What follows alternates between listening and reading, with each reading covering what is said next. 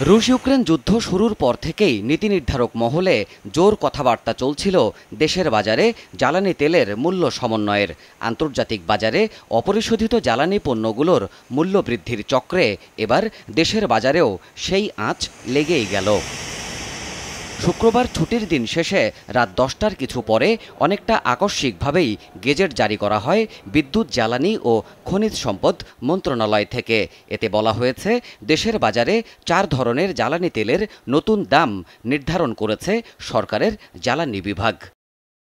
নতুন মূল্যহারে বলা হয়েছে, দেশের বাজারে এখন থেকে প্রতি লিটার ডিজেল বিক্রি হবে একশো চোদ্দ টাকায়, কেরোসিন একশো চোদ্দ টাকা, অকটেন একশো পঁয়ত্রিশ টাকা এবং পেট্রোল লিটার প্রতি বিক্রি হবে একশো ত্রিশ টাকায়।